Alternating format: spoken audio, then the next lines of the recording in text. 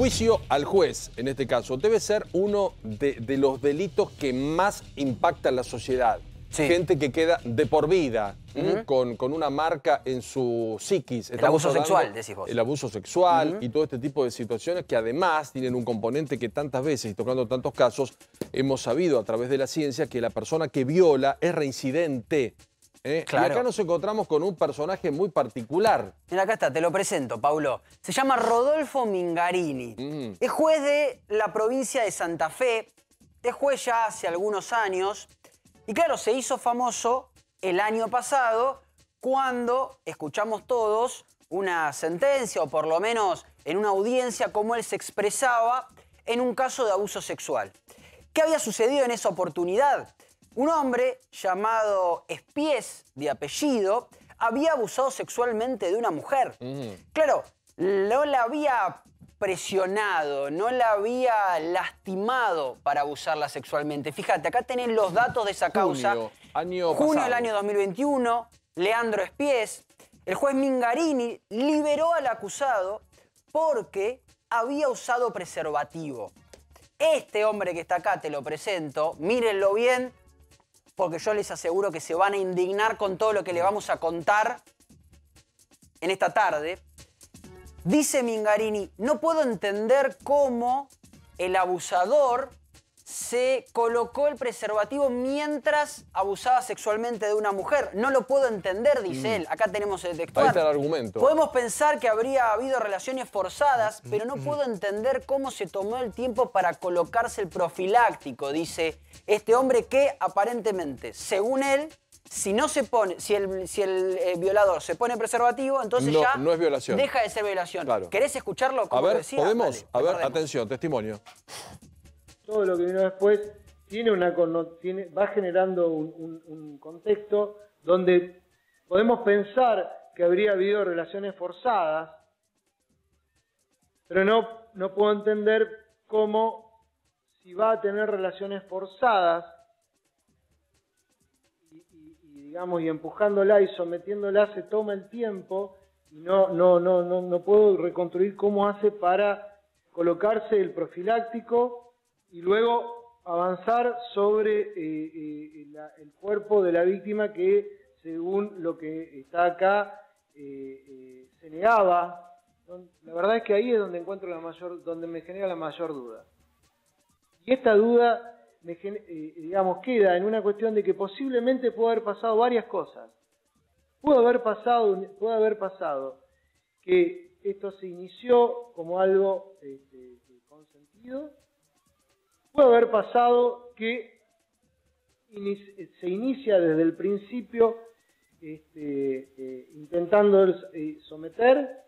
Lo que no me, lo que no puedo es eh, relacionar y, y entrar en la lógica de colocarse el profiláctico para tener esta relación cuando tiene que estar sometiendo a la víctima. No, no, no, la verdad es que no, no lo encuentro.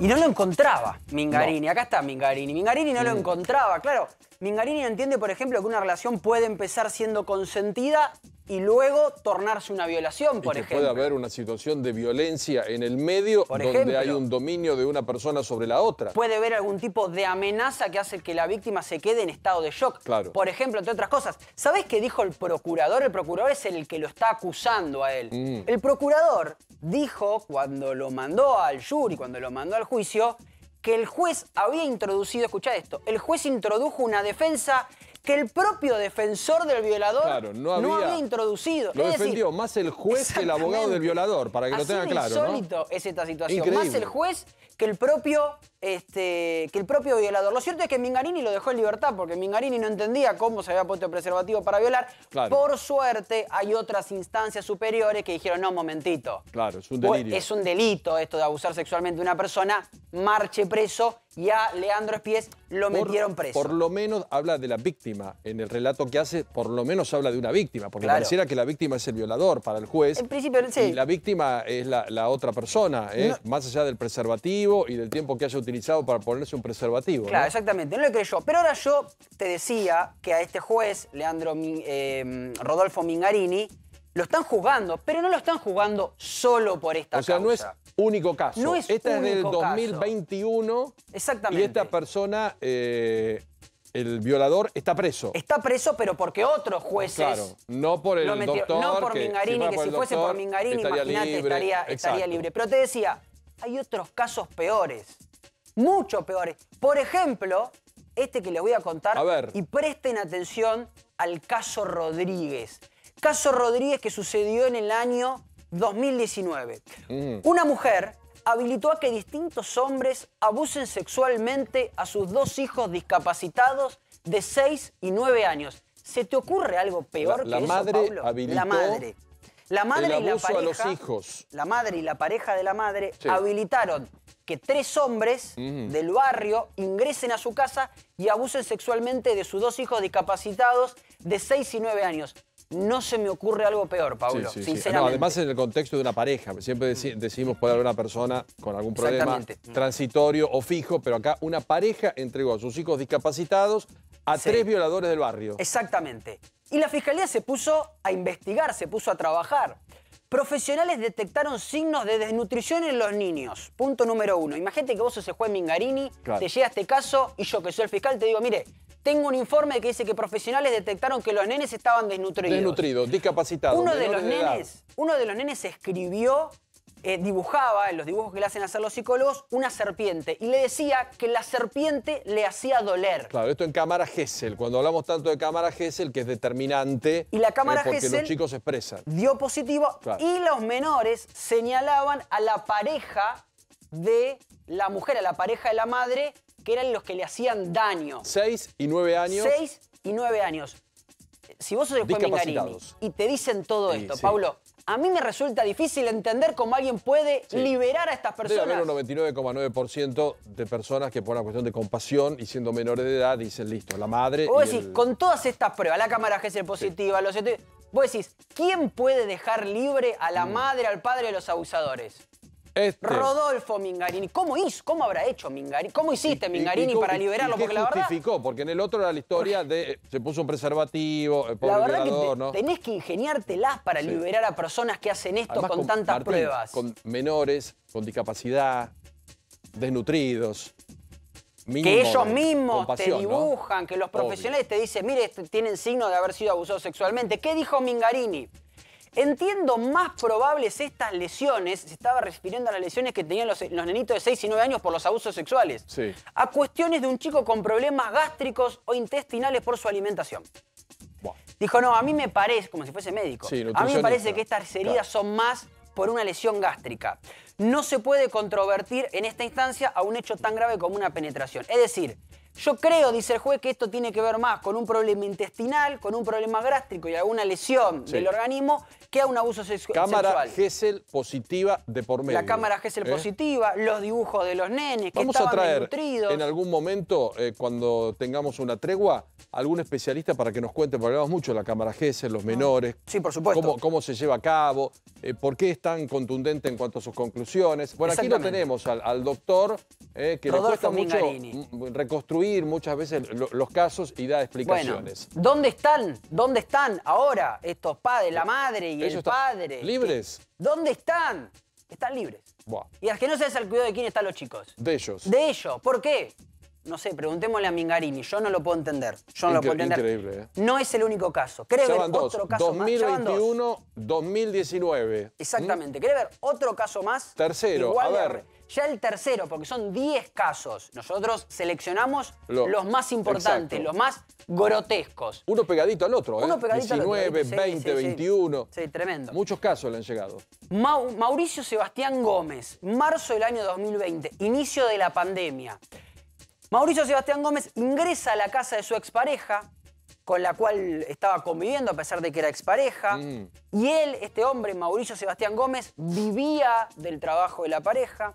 Tienen una discusión, ¿sabes por qué? Porque la mujer, que era además víctima de violencia de género y ya había hecho denuncias, y la justicia no había hecho nada, le dice, che, ponete a trabajar, yo no te puedo seguir manteniendo. ¿Sabes qué hizo Mauricio Sebastián Gómez? Agarró una olla, la llenó de agua, la puso a calentar y le tiró agua hirviendo en el cuerpo. Le Plena quemó tórax, pan- pandemia, pa- ¿eh? Cuando tórax, el tema de las brazo, convivencias- piernas, Todo eso este- hizo este hombre, Mauricio Sebastián Gómez.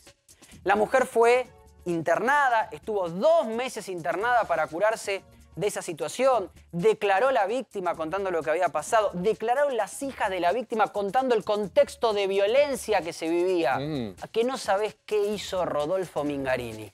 Justificó al señor que tiró el agua hirviendo. Lo dejó en libertad. Obvio. Lo obvio. dejó en libertad. Ahí más está. allá, dice Mingarini en su fallo de este caso del marzo del 2020, más allá de la connotación moral, si se quiere, tiene que ver con cuestiones que no tienen que ser dirimidas en otro ámbito, que tienen que ser dirigidas en otro ámbito. En otro En fuero. otro fuero, en el de familia. Dijo Mingarini. Y además después hizo una explicación recontra técnica de que como el mínimo era tres años y se acercaba, que podía estar en domiciliaria. La cuestión es ¿Esto que lo dejó en libertad. Lesiones graves, como mínimo, ¿no? Lesiones, sí, lesiones graves como mínimo porque estuvo dos meses para recuperarse. Mm. La cuestión es que lo dejó en libertad. Por suerte lo mismo. Hay instancias superiores Sí, que patrullan, que vigilan y que están atentas ante y tanta que lo detuvieron. Que lo detuvieron por suerte y este hombre Ese está está detenido. Ya con esto alcanzaría como que para que Claro. mínimo, ¿viste? O que lo corran Tres o lo echen porque ya son tres casos. muy contundentes. Y todavía no te mostré nada. Mm. Porque hay casos peores en los cuales actuó Mingarini. Por ejemplo, este que viene ahora. A ver, Jorge Oviedo, año 2019, abusó sexualmente de la amiga de su hija cuando la nena iba a jugar a su casa. Dijo, eh, fue lo que sucedió. Claro, declaró la nena, declararon los padres de la nena, la nena tenía lesiones compatibles con abuso sexual, pero para nuestro amigo Rodolfo Mingarini no hacía falta la por detención. supuesto que la nena no era la víctima. Por supuesto que la nena no era la víctima. No se puede Lo dijo- controvertir en esta instancia un hecho tan grave como una penetración. Sí, y dijo además el juez, en este caso, donde el padre de una nena abusa a su amiguita cuando iba a jugar a la casa, cuando abusa a la amiguita de la hija con acceso carnal, es decir, la viola, y dice el juez, es muy dudoso todo. No encuentro algo que me convenza de ir más allá de lo que estoy valorando. Porque la nena, ¿cómo descubre? ¿Cómo descubren el hecho? Claro. Porque la nena eh, iba al colegio y se desmayaba, tenía convulsiones y se desmayaba. Entonces cuando empiezan a investigar, la nena rompe en llanto y cuenta Exacto. lo que había sucedido. No sabemos si esta pérdida de conocimiento con convulsiones son una, son, eh, una cuestión evidentemente cardíaca. Nosotros no somos médicos. Em- Es, decir, la nena se desmayaba, la nena tenía convulsiones. Claro. Cuando le preguntan y empiezan a indagar qué te pasaba, la nena cuenta, me pasó esto, el papá de mi amiga me violó. Y constataron que la nena estaba violada. Constataron que tenía las lesiones, pero Mingarini dijo, bueno, lo de las convulsiones y lo de los desmayos, por ahí es una cuestión cardíaca, nosotros no somos médicos, así que no sabemos por qué se desmayaba, por qué tenía las, con- las convulsiones. Lo dejó en libertad, como le gusta dejar a Mingarini, que lo dejó libre, que se fue, eh, Oviedo se fue a la casa. Claro, cuando después el- los tribunales superiores lo quieren ir a buscar, ¿dónde estaba el acusado? ¿Dónde estaba Oviedo? Claro. No sabían dónde estaba, se había Exacto. escapado. ¿Por qué? Porque Mingarini lo dejó libre. Finalmente lo pudieron atrapar y ahora está detenido. Pero vos fíjate las cosas que hubiesen sucedido Sí, además llegamos si no se a- revisaban a, a 10 las actuaciones casos brutales como estos y tan injustos, porque acá hay víctimas, ¿eh? y hay familia, hay gente atrás de todo este tipo de situaciones brutales. ¿no? Este es, este es, es tremendo. Este, este que te voy a Uno presentar peor que el otro. Es uno peor que el Uno otro. peor ¿eh? que el Este otro. es tremendo. Pablo Javier Nadalich. Sí. Abril del año 2021, escuchen bien todos los que, este, los que sean abogados porque no lo van a poder creer. Nadalich fue acusado de abuso sexual. Encima a este hombre le tocaban las peores causas y actuaba Sí, de la peor manera. Todas vinculadas con cuestiones todas sexuales. vinculadas con eh, cuestiones sexuales. Claro, ¿qué pasaba? Antes de ser juez, Mingarini era abogado particular. Claro. O en realidad era eh, abogado público. Ah, Era un defensor, defensor público, exactamente. Defensor público. Defensor Perfecto. y Mingarini, años atrás, Sí. había defendido a este hombre que ahora él tenía que juzgar, Ah, a Pablo fue Javier su- Nadalich. su asistente había sido su cliente, Claro. siempre en el ámbito estatal, pero había sido su cliente y ahora le tocaba ser juez. Tiene que Motivo suficiente para Claro, excusarse. claro. ¿Saben qué hizo? Ahí hay que excusarse. Claro. Y por supuesto, porque si no tenés abiertamente o manifiestamente, tenés una inclinación. sí, sí, sí. Porque había sido tu defendido. ¿Saben qué hizo Mingarini? Llevó adelante el juicio igual, porque era juez de instrucción y también de juicio. Y descubrieron, porque denunció la abogada de este hombre, Nadalich, la que en ese momento era abogada, que el juez Mingarini la llamó dos veces para apretarle y para decirle cómo tenía que ejercer la defensa. El juez llamando a la defensora, a- no, diciéndole cómo lo tenía que defender. Increíble. Este hombre que tenéis acá. Yo digo este hombre para que le veamos bien la cara. Sí, sí. No, a ver, eh, el, Y el además, acusado está libre. solidariamente con toda la gente que le ha tocado este hombre, Este hombre. ¿no? ¿Y por qué digo que le vean bien la cara? Porque uno ya más o menos conoce cómo funciona el entramado de jueces y fiscales y la corporación judicial, que después se terminan defendiendo todos unos a ellos, o a lo- con los otros. Mm. Algo ahora me van a llamar algunos fiscales, jueces, para ver No hace mucho abogados, que juez- Pero hacen eso, se defienden entre ellos. Entre ellos, corporativamente. Sí. Hace algunos años, Hace sí, ya hace- algunos ya años. hace porque son todas años que- causas más muy pegaditas, 19, 20, 21. Sí. Viste que, no, viste que no hay muchos jueces que digan, uh, el juez ese lo, lo apartaron, le hicieron un juicio y lo echaron. Viste, eso no pasa porque se defienden no, no, entre ellos, lo suelen hacer así. ¿Querés un caso más? Uno más Todavía y peor. vamos al, al quinto de lo que Sí, estamos narrando este es el sobre último. 10 que lo llevan a un jury. ¿eh? Exactamente. Con un menor de edad otra vez. Este es por ahí uno de los casos más conocidos de la provincia de Santa Fe. Mm. Carlos el Tata Valdomir, boxeador, Sí. campeón del mundo, súper reconocido, que abusó sexualmente de su hija de 12 años, Carlos el Tata Valdomir. Mingarini votó, porque era también eh, juez de juicio, Sí. votó porque le bajen la pena. Los otros jueces votaron por 18 años de Y- prisión. y él menos. Y Mingarini votó por 12. ¿Saben por qué? Dijo, no, la víctima no fue golpeada y luego tuvo novio. O sea que superó los hechos traumáticos. Claro, a pesar de que Valdomir había abusado sexualmente de su hija de 12 años, Claro. como después la chica, con todo el esfuerzo del mundo, Supuestamente superó, recuperó. recuperó su vida, entonces en vez de 18, este hombre Mingarini dijo, no, démosle 12 a Valdomir. Por suerte perdió en la votación 2 a 1 y finalmente le terminaron dando 18 años. Miremosle bien, la- bien la cara, se llama Rodolfo Mingarini, este juez, está siendo juzgado en este momento. Por ahora le sacaron el 50% del sueldo. Hay que ver si efectivamente lo destituyen como juez. Por ahora cobra simplemente la Y mitad. está bajo observación. Bueno, está el